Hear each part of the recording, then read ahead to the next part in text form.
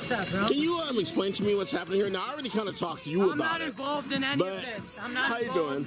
Hi, we're having an exclusive influencer pool party. Okay. It's a chance for all of us to collab, talk, hang out, and grow the TikTok community closer. Aw, what happens if TikTok gets shut down by China or whatever? We'll all be moving to either this app called Flash Trends or most likely Triller. So I don't know if you heard, TikTok just put 200 million dollars into their influencer program. I didn't know that. So I don't think they're shutting down anytime Oh, soon. they're probably not going anywhere. Well, I love it. We have half our Horizon Cal in here. Yeah. Hey, Horizon, yes. Jason. I was just talking to Jason. What's up, Jason?